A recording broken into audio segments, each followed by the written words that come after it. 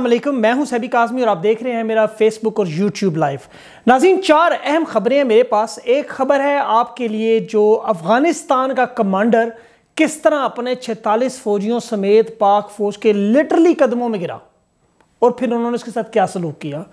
दूसरी मेरे पास जो खबर है वो आपकी, अभी जो देखा होगा आपने कि सी ने पहला इंटरव्यू तहरीक तालिबान पाकिस्तान, जो टीटीपी, जो कि पाक फ़ौज के साथ इस वक्त बरसर पैकार है पाक फ़ौज, उनका कला कमा करने के लिए। उसका इंटरव्यू किया, उसमें उसने क्या कहा, मैं वो आपसे बात करता हूँ। और तीसरी अहम जो बात है, वो गज़ा में इसराइल ने हमास का एक बड़ा जो उनकी बेस थी, वो तबाह कर दी और अब हमास जो है वो इसराइल को आगे से रिस्पॉन्ड करने के लिए उन्होंने एक नई टेक्निक निकाली हुई है। वो टेक्निक क्या है, उस पर बात करते हैं। और आखिर में इसराइल इस चीज़ पर भी कामयाब हो गया ये भी खबर है, अभी जो जॉर्डन के किंग अब्दुल्ला ने दिया इंटरव्यू सी के जकरिया को और उसमें उन्होंने कहा कि हमें ईरान की तरफ़ से हमारे ऊपर ड्रोन भेजे जा रहे हैं। तो इन सारी खबरों पर तफसील से जल्दी से बात करते हैं। आपको बताता हूँ, सबसे पहले आपको पता है, चित्राल का सेक्टर है अरवन सेक्टर वहाँ पर पाक फौज ने ये बात डिक्लेयर की आईएसपीआर ने बताया कि किस तरह अफ़गानिस्तान का फौजी कमांडर अपने 46 एहलकारों समेत पाक फौज के पास पनाह के लिए आ गए। अब सूरत हाल यह है कि इंटरनेशनल बॉर्डर जहाँ जहाँ लगता है, वहाँ ये अफगान फ़ौज की कैपेबिलिटीज़ नहीं है कि इस बॉर्डर को वो अफ़गान तालिबान से प्रोटेक्ट कर सकें, बचा सकें, क्योंकि उनके पास इतनी वसाइल नहीं है। अफगान तालिबान, आपको पता है छः तरह के बॉर्डर्स में उसने तफसील से बताया था कि किस तरह वो ताजिकिस्तान, उज़्बेकिस्तान, चाइना, पाकिस्तान की तरफ़, ईरान की तरफ़ और इवन के तुर्की वाली साइड से थोड़ा सा हट के उधर से, ये सारे छः के छः जो ममालिक उनके साथ बॉर्डर से टच करते हैं, इनके सारी जगहों पर वो मुकम्मल तौर पर छा चुके हैं। ऐसे में अफगान फ़ौज बॉर्डर्स के नज़दीक तो बिल्कुल उन्होंने समेट कर वहाँ तक पहुँचा दिया है। पचासी से नब्बे फ़ीसद इलाके पर इनका कब्ज़ा हो चुका है। ऐसे में अफगान फौज के पास कभी वो ताजिकिस्तान में हथियार फेंक रहे हैं, कभी वो उज्बेकिस्तान की तरफ़ जा रहे हैं। और वहाँ पर भी देखें, वो अपनी मिलिट्री एक्सरसाइजेस कर रहे हैं कि इनको दूर रखें, इनको आने ना दें। दूसरी तरफ़ चीन की तरफ़ भी भागने की कोशिश कर रहे हैं। तो ये सारा जो भी चक्कर चल रहा है इस वक्त तक, इसमें वो पाकिस्तान के बॉर्डर चित्राल की तरफ़, अरवन सेक्टर की तरफ़ भी आ गए। और ये पहली दफ़ा नहीं हुआ, अभी पहली जुलाई को भी इनके पैंतीस से चालीस फौजी इसी तरह आए थे। दोबारा उन्होंने पाक फौज से आके दरख्वास्त की कि हमारी जान बचा लें, हमें ये अफगान तालिबान पकड़ेंगे, मारेंगे। और इसके साथ पाक फौज ने उन्हें वसूल किया और साथ ही उनके अफगान हकाम ने उनसे पहले रबता किया। उन्हें बताया, देखें जी, आपकी फ़ौज यहाँ पर आ रही है मिलते तरले हैं हमारे साथ। हम इनको बचाने जा रहे हैं। फिर उनका बड़ा भरपूर एहतमाम भी किया गया, उनके खाने का इंतज़ाम किया गया।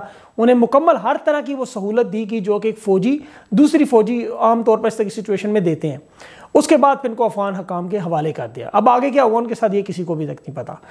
मेन चीज़ ये है कि अभी आपने देखा कि अमेरिका ने कतर दोहा माहे की खिलाफ वर्जी करते हुए जो बमबारी की, जिसमें तीन अफ़गानिस्तान के तीन जो अफ़गान तालिबान के जंगजू उसमें हलाक हुए। अब उन्होंने इसके जवाब में फिर वो ट्रांसलेटर जो था, उसके साथ जो किया, वो आपको सारा मामला पता है।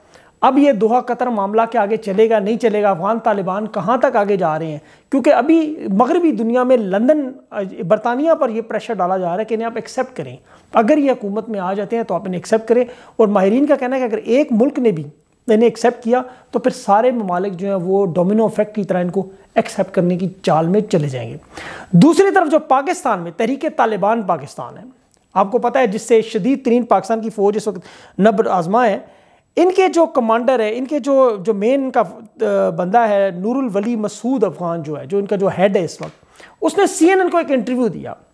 और इस इंटरव्यू में उसने बड़ी अजीब बातें की। इसने कहा जी कि हमारा जो, हम और अफगान तालिबान एक है, जो कि बात बिल्कुल सिरे से गलत है, बकवास है और रबिश है। अफगान तालिबान दोहा कतर में बैठ के दुनिया के सामने मुजाकर करें इन्हें दुनिया ने दहशत गर्द करार दिया हुआ है।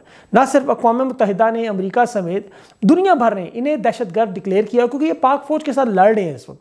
रोज़ाना पाक फ़ौज के ऊपर हमले करते हैं, फिर पाक फ़ौज जवाब में इनका आपको पता क्या हाल करती है। ये बॉर्डर के इलाके में, वहाँ पर दुशवार गुजार इलाका है, वहाँ पर ये लोग छुपे हुए हैं। इसने कहा जी हम एक है, हमारा एजेंडा एक है, हम मुसलमान, आप मुसलमान नहीं हैं। जब से एपीएस का हमला हुआ था, उसके बाद सारे यूनानिमसली इस चीज़ पर एग्री थी, पूरी दुनिया कि ये मुसलमानों के, इंसानों वाला काम भी नहीं है। तो उसके बाद फिर पाक फौज ने इनका कला कमा, जो है वो तेज़ी की थी। अभी ये कुछ थोड़ी सी जो उनकी बची खुची फोर्स रह गई है, इनमें क्रिमिनल एलिमेंट सारा शामिल है। वो लोग शामिल हैं जो कि वहाँ पर बॉर्डर के इर्द गिर्द स्मगलिंग में मुलविस हैं। जो कि ह्यूमन स्मगलिंग करते हैं, चीज़ों की स्मगलिंग करते हैं।